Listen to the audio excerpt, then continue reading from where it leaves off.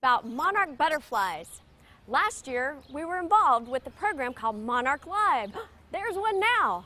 If you want to know more about monarchs, you can go to the web address on your screen and you can watch webcast to find out more about monarchs, how they overwinter in Mexico, why milkweed is so important to them, also the threats that they face, and what you can do to help. So today we're following up with that program with Dr. Chip Taylor, and he's the director of Monarch Watch. So, Dr. Taylor, can you give us an update Well, I about sure can. monarchs? There are monarchs all over the place. I we, can tell. We, we had one. We had one flying through the garden here earlier today, and there's this big annoying one that's flying around us right now. I mean, this this is it's kind of amazing. I don't think I've ever seen a monarch that's quite that big. I oh, don't oh either. my goodness! Here Now- it goes again. Also, before we start, remember all of you out there, if you want to buzz in with questions about monarchs, please send them to the email address on your screen so that we can answer some of those later on. All right, let me give you a little update on what's going, been going on with monarchs for uh, the last year. Last summer we had a really cold summer and it was really hard on the monarchs. They didn't produce a lot of uh, young butterflies and so the migration was a little bit low last year and the result of that was that the overwintering population was at an all-time low down in Mexico where they overwintered just kind of west of Mexico City. So that population was of great concern because we were worried about the winter weather because we've had some harsh conditions down there in the winter and we, we were worried that a small population facing a, facing a harsh winter would mean a, a poor return this spring. And that's exactly what's happened. They had a period down there in the first week of February which was just devastating. Just like we've had rains here with 15 inches in a few days uh, down in Tennessee, they had those kinds of rains down there and it really devastated the population. So we've been quite concerned and the number of butterflies coming back this spring has been pretty low. But fortunately, really very, very fortunately, we got really lucky. The spring conditions in Texas this year have been extraordinary. Right. Yeah, right. The temperatures have been low and this has allowed the butterflies to really get a good start. There's been a lot of milkweed in the area. Uh, there's been a lot of bloom out there so the butterflies can get a lot of nectar. And it looks like they've gotten off a good first generation because we're seeing first generation butterflies come up all throughout uh, the eastern United States right now. So we're very positive about what's going to happen the rest of the summer. That's a great update. And you know, the last segment that we watched was about bee hunt and how people could be, students can be citizen scientists and conduct different science projects like through Discover Life. So I know that Monarch Watch involves tagging. There's another one now. Yeah. So what exactly is a tag and why do you tag?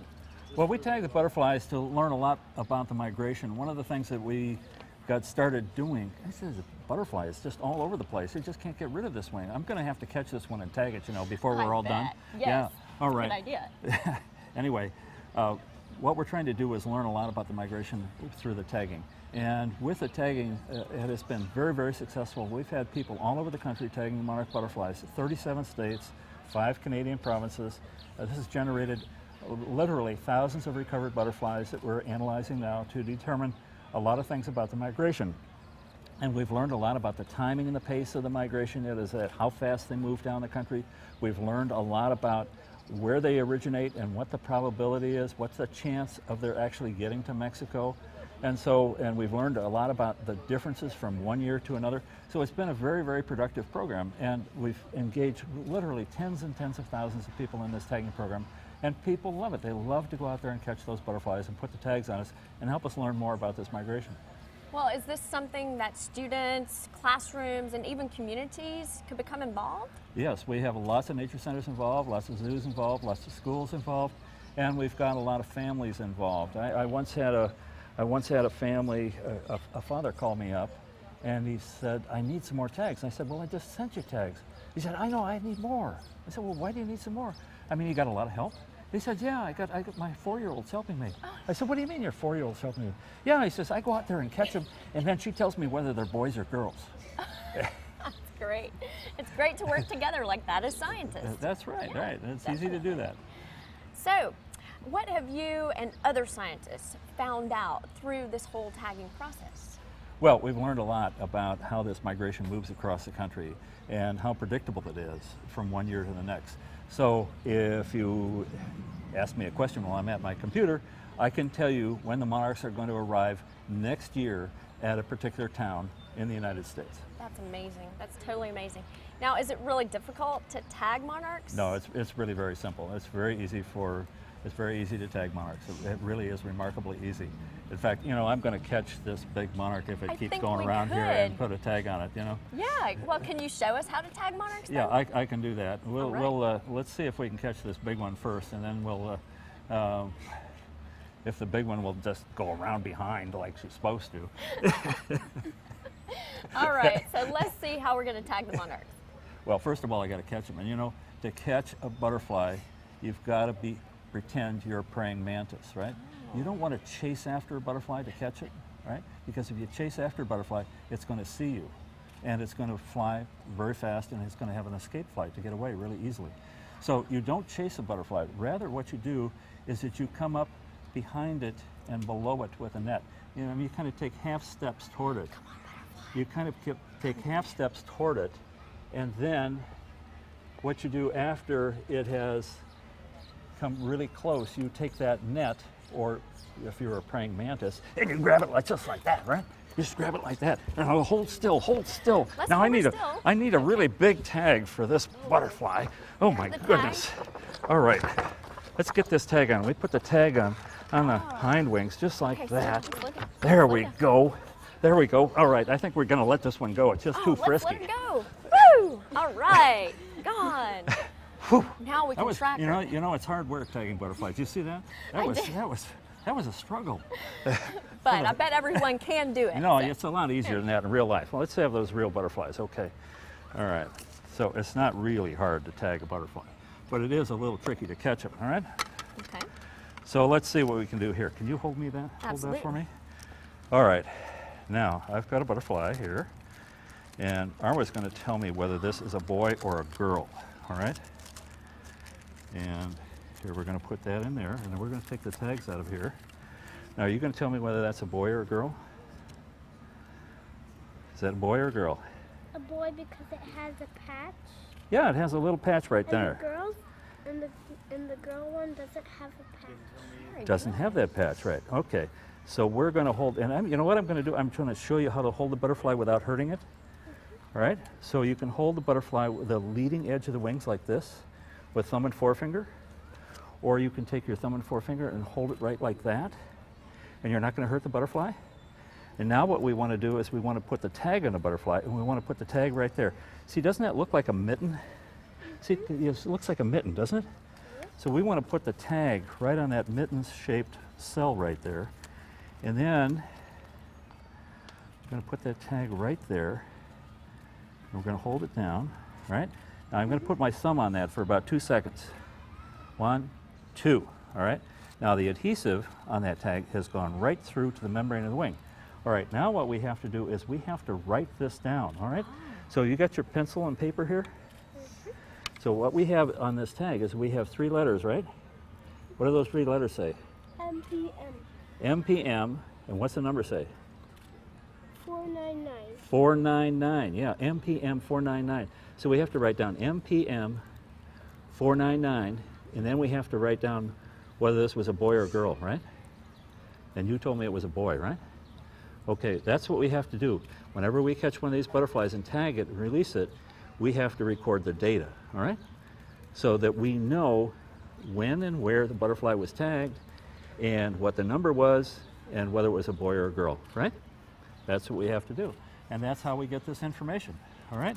That's great. So we're going to let this butterfly go later, but if anybody wants to see a girl butterfly, I can probably pull one out.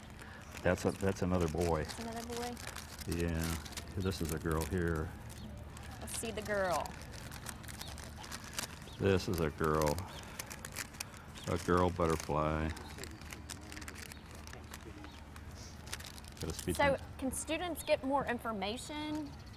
Somehow? You know, they can just go to our website, monarchwatch.org, and they can learn all about tagging butterflies. Now, what is that? Is that- It's a girl. It doesn't have a pouch like the boy. That's right. Very Good, for you, Arwa. Very good. Very good. Thank you very much. Now, and Dr. Taylor, because this segment, uh, Pollinator Live, is about pollinators, can we talk about how butterflies are pollinators and how they act as pollinators and if monarchs are really important pollinators? Well, you know, butterflies are very flitty, like this monarch that we had going around here, Yes. just kind of bouncing around.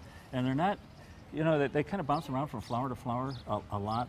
And while they visit a lot of different flowers, uh, they're not as efficient as bees are. But they are pollinators nevertheless. And the monarch butterfly visits a pro- probably 200 species of flowers in the course of its annual cycle. So it does play a role, particularly in the, the pollination of a lot of fall flowers. Absolutely.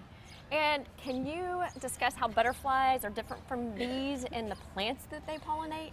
Yeah, there are a whole class of plants which are called butterfly flowers. And butterfly flowers tend to be different from bee flowers in that the butterfly flowers tend to have a very dilute nectar. What that means is it has very low amount of sugar in it.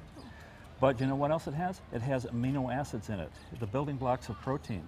And the building blocks of protein are very important to have in butterfly nectar because they don't use the pollen for food. Strangest monarch And I've ever so- seen. How are, can you discuss how bees and butterflies see?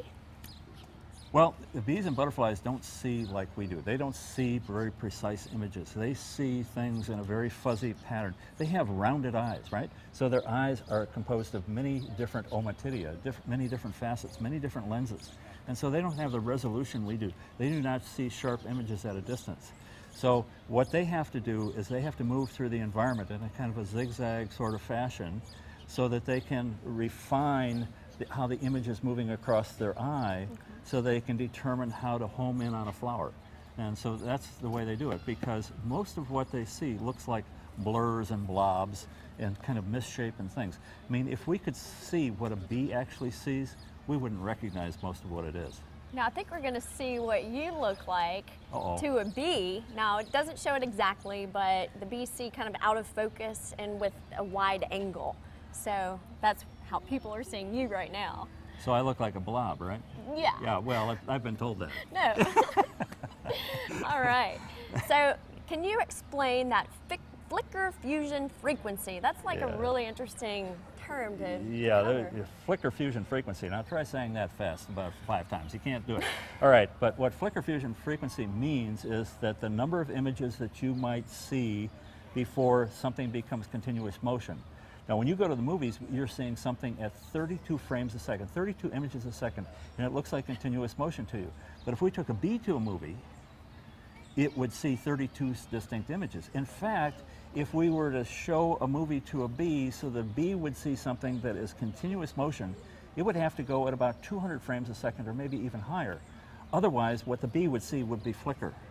like it a strobe. Yeah, like a strobe Okay. light. It'd be, be, be, be a flicker. So this flicker fusion frequency is very important for how an organism moves through the environment. The faster your fri- can't say that, flicker fusion frequency, the better it is, that is, the higher it is, the more easily you can move rapidly through the environment. Mm-hmm. All right?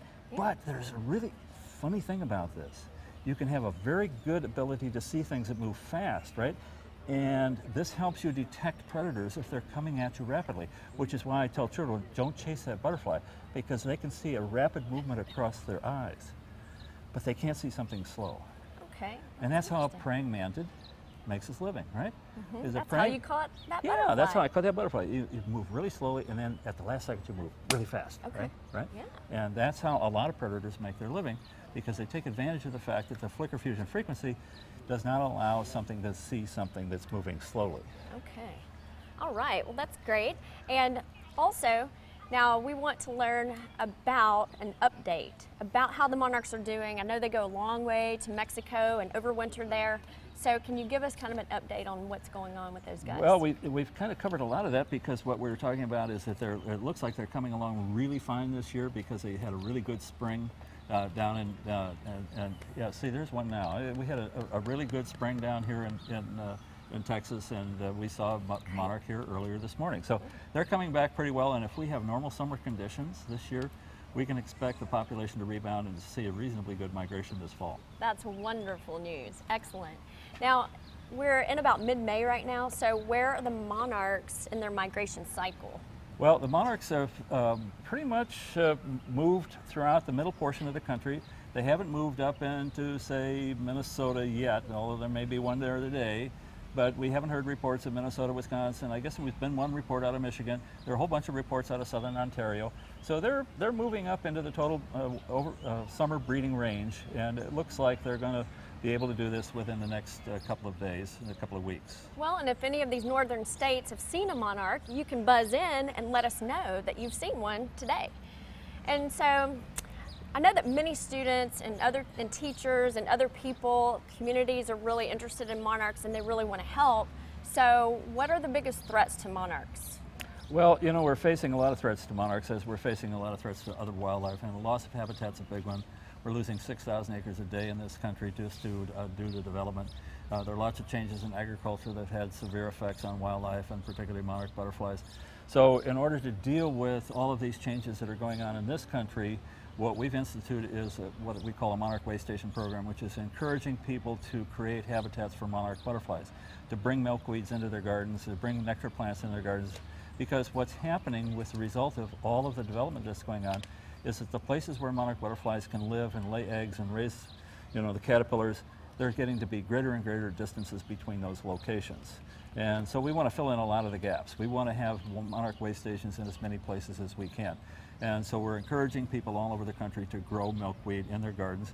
We're also going to get involved in big restoration projects where we're going to try to involve departments of transportation around the country to get them involved in restoring roadsides uh, with pollinator friendly habitats, particularly monarch friendly habitats, so that we have a lot more habitat out there for monarch butterflies. So that's one thing we need to do. And the other thing that we need to do down in Mexico is that we need to plant trees. Mm -hmm. We really need to plant trees. In fact, all over the world, we really need to plant trees because we're faced with climate change. And certainly one of the ways to deal with climate change is to grow a lot of vegetation, to pull out that carbon out of the air, uh, to create sort of what they call a carbon sink.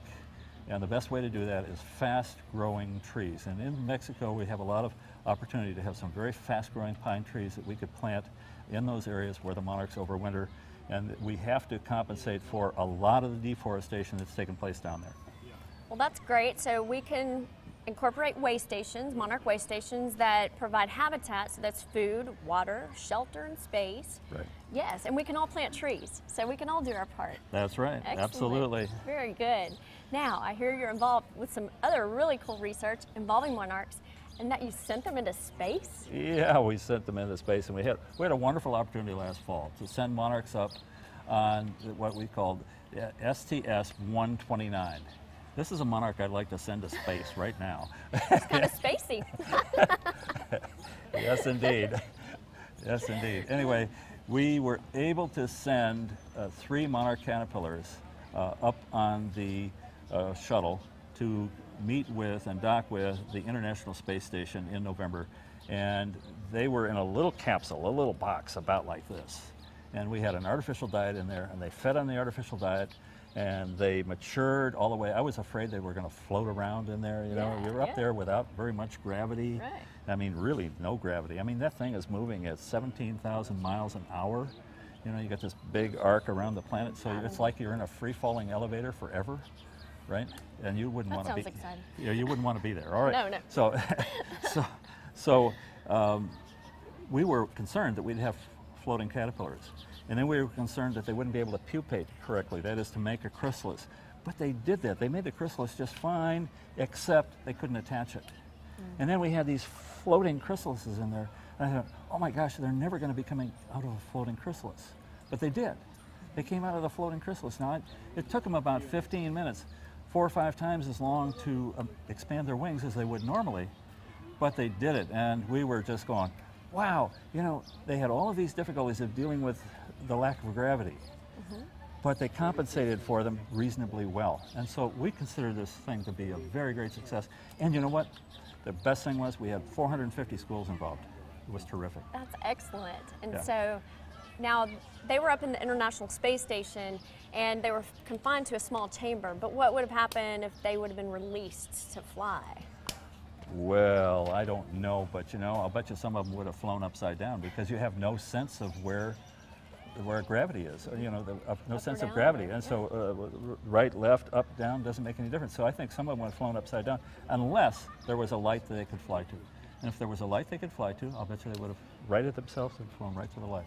Well, that's great. All of this information has been just incredible, and thank you so much. And now it's going to be some time to take some questions. And let's see, I think we have Arwa right now. That and remember, you can buzz in at any time. Just send in your questions. So keep on buzzing in to the email address on your screen. And this question is from Mrs. Abraham's fourth grade class from Baker Elementary in Bentonville, Arkansas. And they participated in the Monarchs in Space program. Terrific. So, can you reveal to us what is coming next for us to experience with the Monarchs in the classroom? We'd love to be involved, and our students never forget the impact this program has had on them. Well, that's wonderful. That's a very nice thing. What we're going to try to do is we're going to try to have some kits available for schools that will be just like the Monarchs in Space kits that we sent out to 450 schools. And what they, we can use is the, the kit, and they can follow the development of the larvae in the kit just as it occurred on the space station, right? So we, you know, it won't be the same as doing it in real time, Sure. but they can copy that and get a sense of what's different in their classroom from what was different on the space station. Wonderful. That sounds really interesting. And I see, thank you, Arwa. You're And, and we also have the monarch butterfly with some milkweed. Oh, it's our favorite plant. great, I- I'm yes. surprised there aren't Mhm. eggs all over it. Look at that. Yeah, probably no, so. n- none Will yet. be soon. All right. Well, here we have a, we have a swamp milkweed, and uh, that's a very good plant for monarch butterflies. Okay. All right, and then our next question is from Mrs. Allen Boyle's classroom at, wow, Connoquenessing Valley Elementary. And do you think that monarchs are dying so much that they will become extinct? Well, you know, we have to worry about all the life we have on the planet because Mm-hmm. we're the dominant species on the planet and we're doing a lot of things that aren't favorable to a lot of the species out there. And I think we, we really have to take advantage of what we know about monarchs and say, you know, monarchs are kind of symbolic of what's happening. And you know, what, species. Yeah, it's kind of an indicator species, and monarchs don't seem to be doing well right now. But uh, and and what are the reasons for that? Is it the climate? Is it the a loss of habitat? What is it? And you know what the monarchs are telling us is that there are changes taking place out there, and we better pay attention because all of that life out there supports us? Yes. We're not independent of all of that stuff out there. All those pollinators feed us, mm-hmm. and they keep all this natural vegetation alive around us. And that natural vegetation keeps all the birds and small animals and everything else alive around us. So we want to pay attention to the little things out there because those little things support us. And the monarch is simply symbolic of all of these other representative species. So the monarch butterfly and other pollinators are sending us a powerful message. You bet. This question comes from Carol in Laurel, Maryland, and she wants to know what is more important, the specific host plants or the genetics of the monarchs? Oh, I would say, you know, what's more important, the genetics or the host plants? I'd say it has to be the host plants. And so we, we really have to have the right host plants. And so what we want to do is emphasize putting the native host plants in the mm-hmm. right places for the butterflies. That's what we want to do. Uh, we don't know a great deal about monarch genetics, but it appears to be fairly similar to a lot of other insects and a lot of other butterflies. There doesn't seem to be anything really special uh, special about the monarch uh, uh, genome or about the monarch genetics. So it's, uh, it's, it's a typical insect. It has a lot of genetic variability, and yet that genetic variability does not have anything to do with its survival uh, or its extinction so much as the plants, having the plants, having the habitat does. Which depends on us. Right, which Yes. apparently does depend on us, yes. All right, thank you, Arwa. Our next question is from Riverview Elementary in Farmington, Minnesota. And the question is How do monarchs know how to travel such far distances without getting lost? You know, that's a good question, and I wish I knew the answer to that. And I love to have this question coming from Farmington, Minnesota, because that's where I grew up learning all about monarch butterflies in that very, that very area. And, you know, that's a question that scientists are pursuing continuously. How do monarchs navigate? How do they set a course that gets them to Mexico? And we don't know that yet. We have a lot of clues as to what they're doing, but we don't have the specific information we need to determine why or how they set a particular heading. Because the monarchs coming out of Kansas in the fall are going at about 210 degrees, which is 30 degrees west of due south. But if you go down to Atlanta, the butterflies are going about 260. So each portion of the country, they're going in a different direction. And those directions are appropriate to get them to Mexico, but we don't know how they're doing it. And boy, would we love to have that answer. We sure would, and we'll just have to keep conducting research and being citizen scientists to be able to figure all of that out. That's right. All right, thank you, Arwa. This is from Mrs. Hawkinjoe's eighth grade class from Sayreville, New Jersey. Why do monarchs have an orange color? Uh, that's a good question. Uh, What monarchs are are aposematically colored. Now that's a big fancy word. Yes. So it says aposematic means warning, warning coloration. All right? Mm-hmm. So if you want to warn something Warning. not to fool with you, you get orange, black, and usually yellow, right? Mm-hmm. Orange, black, and yellow. And that's why monarchs have this color, because they're trying to advertise the fact that they feed on plants, like this one, that have cardiac glycosides in them. They have compounds in them that are toxic or semi-toxic. And so if you were to eat this monarch butterfly, no thank you, if you eat this monarch butterfly, it, you make you sick, mm-hmm. all right? So you don't want to do that. So No. the butterfly, in effect, tells the predator, I'm not good to eat, folks. Just stay away. Okay, very interesting. And I think we have time for one more question. Thank you, Arwa. Now, this is from Ogden International School in Chicago, Illinois. Can bees and butterflies transmit diseases to plants or humans? We don't think so, but there is a possibility that viruses could be transferred from plant to plant by some, well, certainly by some insects. I'm not sure that butterflies have ever been implicated in transfers of viruses or any pathogens to plants. Uh, there's no indication that any of these things can be transferred to human beings by bees or butterflies, But- there may be some evidence that, a, that a bees will transfer some pathogens from plant to plant as they're visiting them. Thank you. We have Right. time for one more question. And this is from Conlee Elementary in Las Cruces, New Mexico. Is it safe to touch a butterfly or will that hurt the butterfly? Well, it depends on the butterfly. And what you want to learn from somebody like me mm-hmm. is how to hold a butterfly without hurting it. All right? That's important. Yeah. And and if you grab it the wrong way, it bounces and wiggles around and you'll ruin its wings. All right? Oh, so you don't want to do do that, that. right? No. So you want to grab the butterfly just the right way. Well, thank you so much, Dr. Taylor. We really appreciate you sharing all this incredible information with us today about the monarch butterflies. And, you know, this has all been very interesting. I know many of you out there um, are interested in um, answering more questions later on in the program. And we thank you for bringing us up to date. So keep in buzzing in with your questions, and we'll have time later in the to answer more of your questions. Also, teachers and adults, educators that are out there, please go to the website on your screen and fill out that online evaluation because your feedback is extremely important to us to help us improve our programs. And also, you will receive a beautiful pollinator poster. And also, we'll plant one milkweed plant for each survey that we receive back, and we'll plant those in a local school here in Washington, D.C., or in one of our USDA People's Gardens. And also, we'll enter your name to win some great prizes from the U.S. Forest Service. We'll select 10 respondents, randomly selected, to win a box of goodies, which will contain pollinator materials, woodsy owl, and Smokey Bear educational materials. So we all know that what we can do is plant gardens to help pollinators. So don't forget about your garden grants. Just log in and go to visit for the $500 garden grant. So if you apply, you may be one of those that is able to receive that garden grant. We hope that you'll stay with us and buzz back in 15 minutes to talk more with our experts about what you can do to help pollinators and how you can attract them to your schoolyard and your backyard. This is Tamberly buzzing out for Pollinator Live.